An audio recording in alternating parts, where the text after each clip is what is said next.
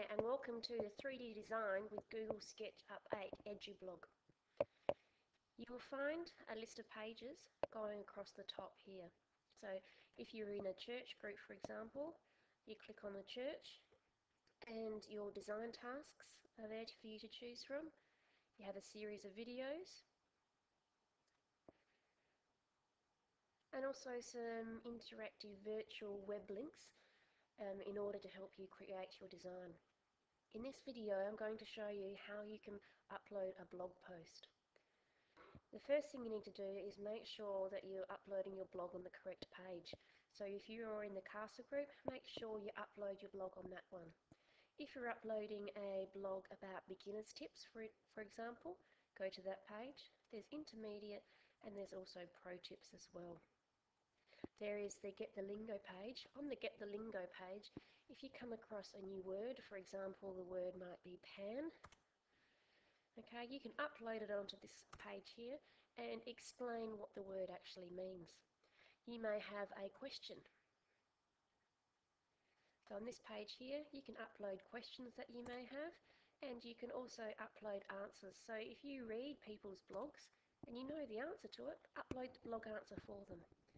The first thing to do is to always type your blog post, that's the message you want to upload on the EduBlog, in Microsoft Word first.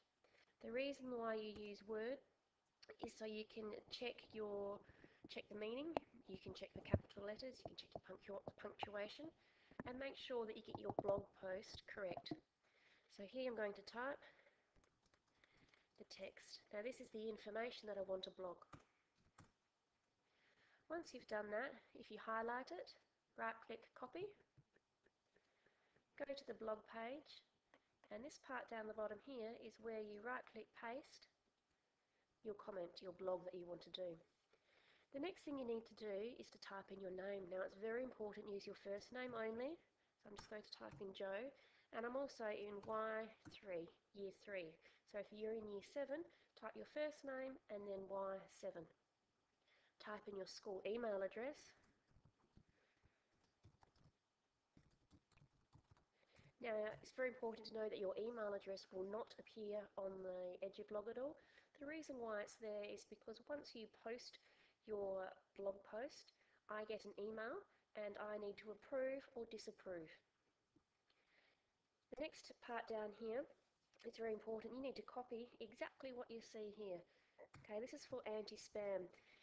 Typing this in here will stop advertising appearing on our site. It will stop viruses, it will stop other people who aren't meant to be blogging on our site. So I've typed that in and then I need to click submit comment. Once you've done that, your blog post um, may not appear here automatically. That's because it's waiting on approval. So it says your comment is awaiting moderation. What happens then is I receive an email of your blog post and I need to approve it or disapprove it.